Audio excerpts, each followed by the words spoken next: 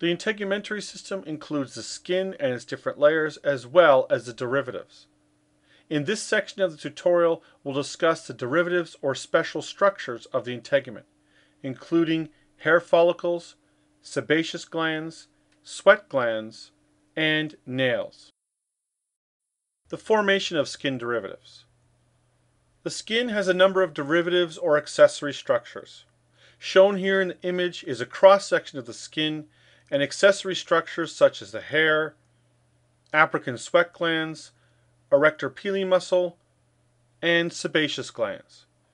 These derivatives develop from infoldings of the epidermis during embryological development. The development of hair follicles can take up to 100 days or more during embryogenesis. The first derivative or accessory structure we'll discuss is the hair. The hair is made up of a hair follicle, a hair papilla at the base, and a hair shaft. The human body is covered with hair, from the hair on the scalp to the upper and lower limbs. Hair is a non-living structure made up of keratin produced from a hair follicle. The functions of hair include protecting the scalp from the sun, insulating the body, filtering the air entering the nasal cavities, and sensing foreign particles or insects on the surface of the skin. As you can see on the image on the right side of the screen, the erector pili muscle is directly attached to the hair. This leads to movement or standing up of hair on our body.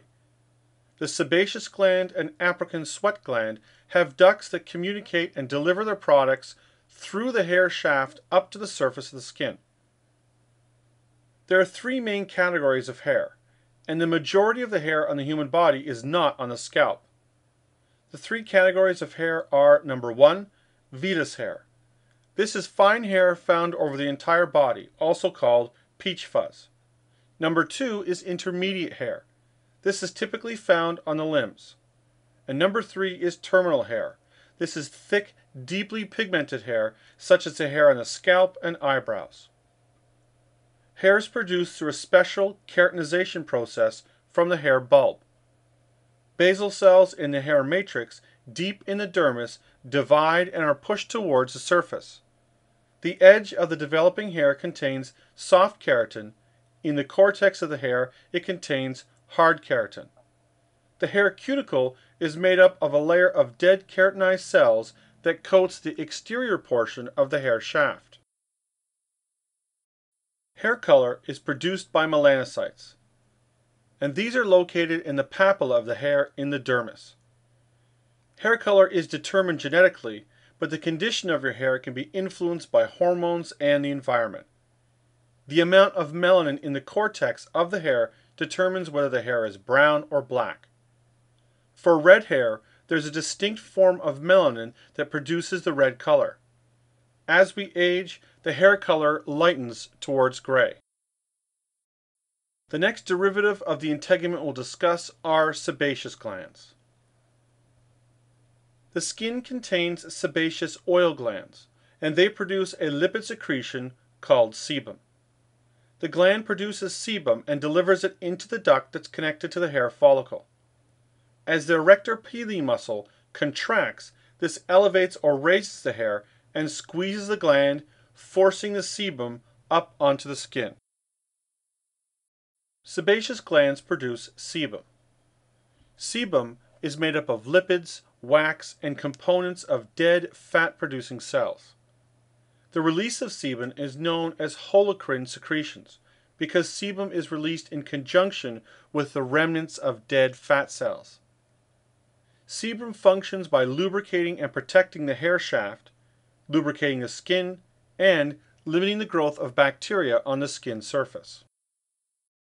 The following is a clinical note on acne vulgaris or acne. This is characterized by areas of the skin that contain a number of non-inflammatory follicular papules or, in more severe forms of acne, inflammatory pustules or nodules. Acne typically occurs in the teenage years, affecting more than 90% of all teenagers. Usually a blockage in the follicles along with the formation of a keratin and sebum plug occurs in the development of acne. There are different causes of acne, including pubertal hormone changes, hyperactive sebaceous glands, bacteria in the pores of the skin, and in some cases the use of anabolic steroids.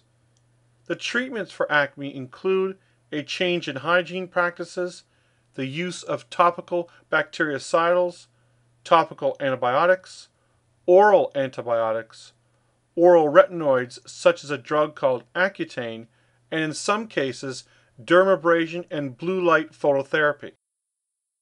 The third derivative of the integument we'll discuss are sweat glands. Sweat glands can be divided into two categories, apocrine and merocrine. Sweat glands function by cooling the surface of the skin to contribute to lowering body temperature. They also excrete water and limit the growth of bacteria on the surface of the skin. Apocrine sweat glands are located in the axilla and the groin area. They produce a viscous, cloudy, and sometimes odorous secretion. These coiled tubular glands are less numerous than merocrine sweat glands. Pheromones can be released in the secretions from these glands. The other type of sweat glands are merocrine sweat glands. These are more numerous than apocrine sweat glands. They are not as deep in the dermis as compared to apocrine sweat glands, and they have a different type of secretion. These glands secrete sweat. This is made up of water, metabolites, electrolytes, and waste products. They secrete their secretions directly onto the surface of the skin.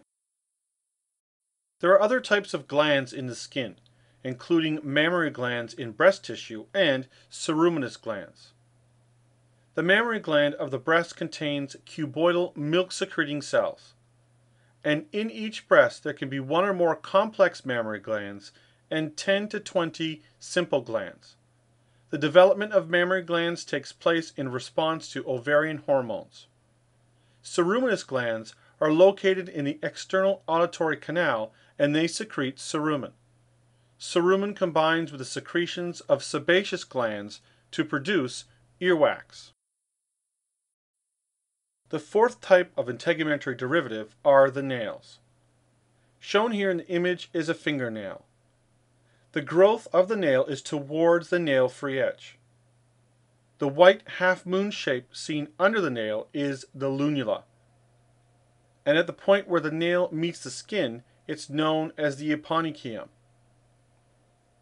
Adjacent to the eponychium is the proximal nail fold.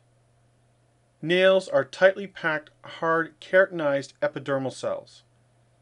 They offer protection to the fingers and toes, they enhance the grip and the handling of small objects. And the average growth rate of a nail is 1 millimeter per week. The anatomy of the nail.